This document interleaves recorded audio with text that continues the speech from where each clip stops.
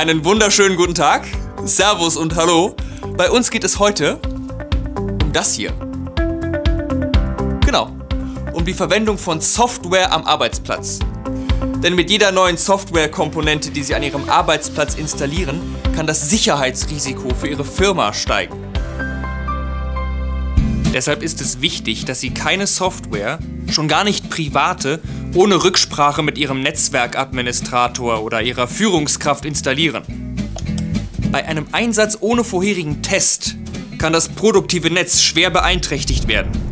Zudem kann die Software Sicherheitslücken enthalten, die Hackern Tür und Tor in das Unternehmen öffnen. Und auch ungültige Lizenzen sind eine Gefahr. Eine Lizenz ist ein Nutzungsrecht.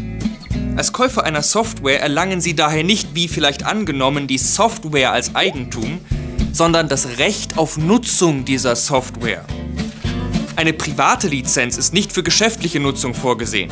Bei einem Verstoß gegen die Lizenzbedingungen muss Ihre Firma haften und für finanzielle Schäden aufkommen. Unsere heißen Tipps sind daher, informieren Sie sich in Ihrer Firma über die Verhaltensregeln zur Verwendung von Software und halten Sie sich unbedingt daran. Halten Sie die lizenzrechtlichen Voraussetzungen ein, sonst drohen hohe Strafen.